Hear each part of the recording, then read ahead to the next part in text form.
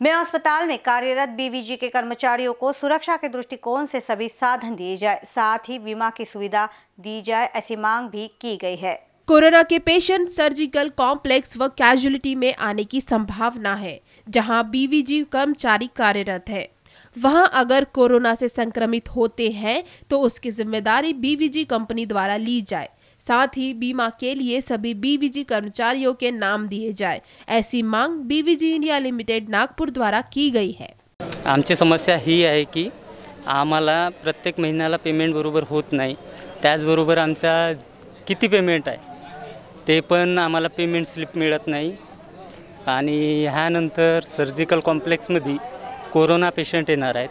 Corona पेशंटसाठी जे housekeeping आणि पेशंट केअरसाठी बी व्ही जीचे कर्मचारी वापरणार आहेत. त्यांना सेफ्टी मेन महत्त्वाची सेफ्टी आणि जो गव्हर्मेंटनं इन्शुरन्स काढला आहे तो आम्हाला मिळत आहे की नाही त्याबद्दल पूर्ण माहिती.